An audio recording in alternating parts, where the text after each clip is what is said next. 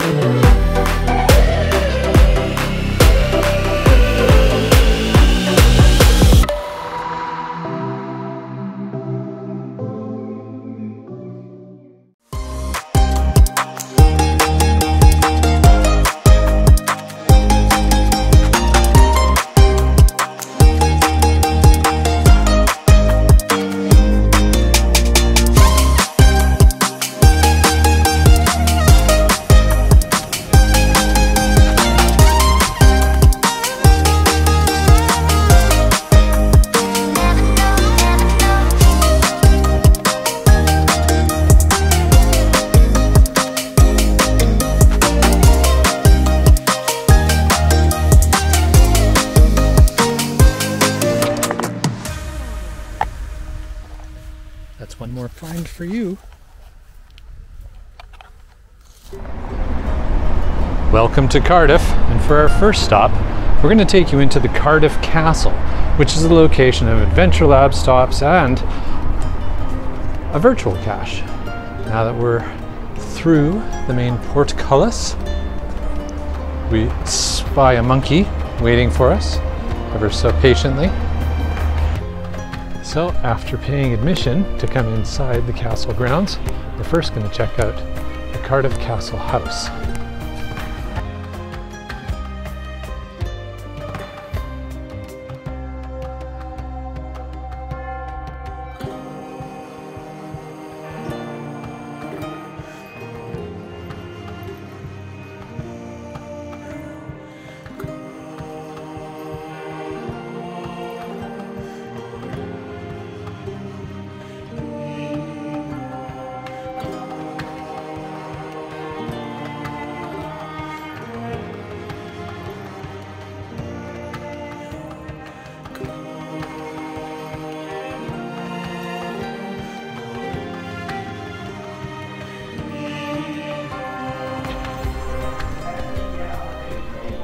Okay, so which of these books has the geocache log in it? So while there's no geocaches or adventure labs on the grounds, there are a couple that take you to the front gate that you can get anytime and without having to pay admission, which is a bonus. But it's worth coming in here and just checking it all out. So we'll show you around some of the cool stuff that's worth seeing in Cardiff Castle.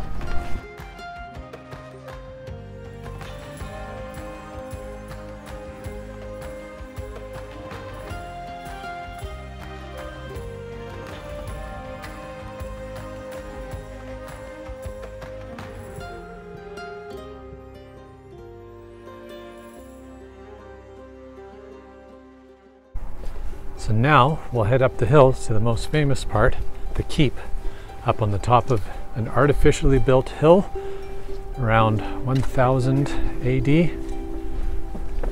We'll check this out.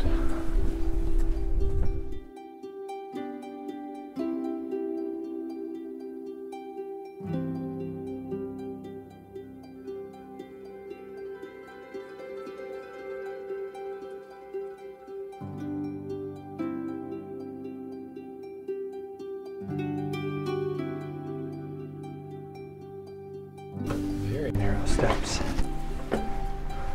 as we approach the highest point.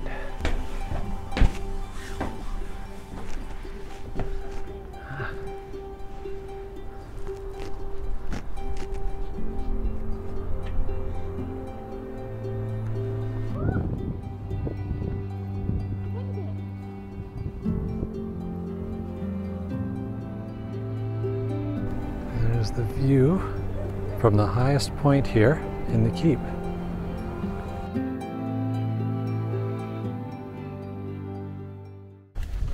So after exploring the castle, we've now headed over to Bute Park. I'm probably horribly messing up the name of the park here, but anyways, it's the park beside the castle. And there are a few caches and Adventure Lab stops here. We just did a really interesting Earth cache, and now we've done a fun Wherigo, which is allowing us to find cache.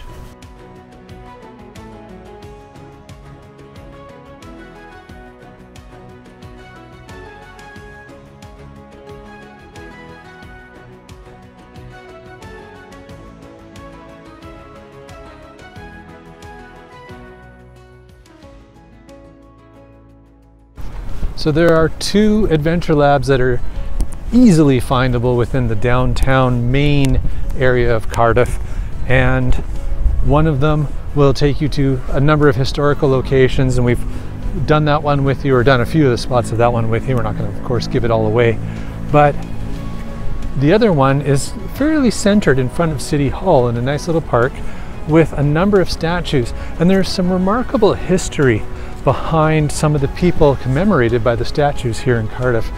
So definitely worth checking that out. So once again, geocaching as our tour guide brings us to somewhere where we might not have gone and learned what we did. But caching Cardiff makes us crave the Iced Capp.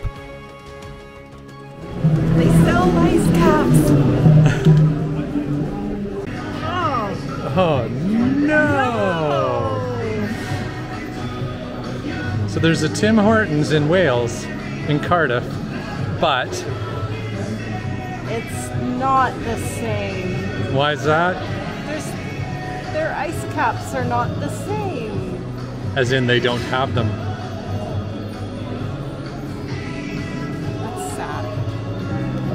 And while definitely dealing with dietary disappointment, we still left Cardiff with some amazing memories of the captivating castle and beautiful settings you can find when you let geocaching be your tour guide to the capital of Wales.